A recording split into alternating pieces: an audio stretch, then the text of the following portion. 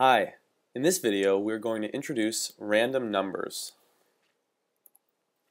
So to make our programs a little more interesting we can use random numbers. But there's a secret. Random numbers from computers aren't actually random. They are pseudo-random, which means they look like they're random numbers and they, they act like they're random numbers, but they're actually coming from an algorithm from the computer. For our purposes, we don't really need to know how the random numbers are being generated. All we need to know is that we can use them.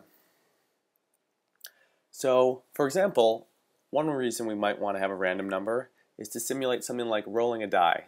So, let's go into our code editor and write some code uh, to make this happen.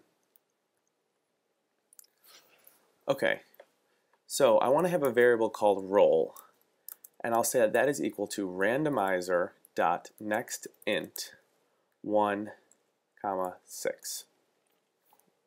So what that's going to do is tell the randomizer to give me a random integer uh, from 1 to 6 inclusive. Inclusive means we include the edges. So all the numbers this could be is 1, 2, 3, 4, 5, or 6.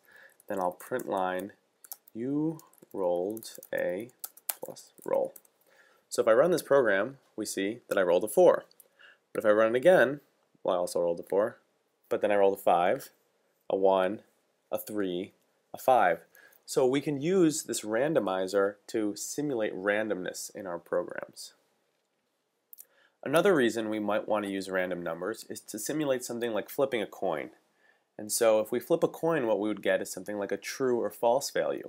And we can use the method next boolean which returns us true with probability 0.5 and false with probability 0.5. So let's look at that in our code editor. So here I've written it up.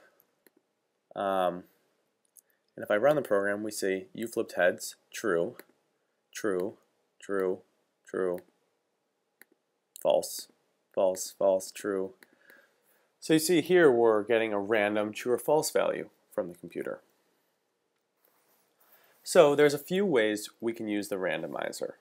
Um, first is next int, which returns us an integer uh, from the low value to the high value. Uh, and we write randomizer dot next int and then the two numbers that we want it to be between. We could also get a random true or false value using randomizer dot next boolean.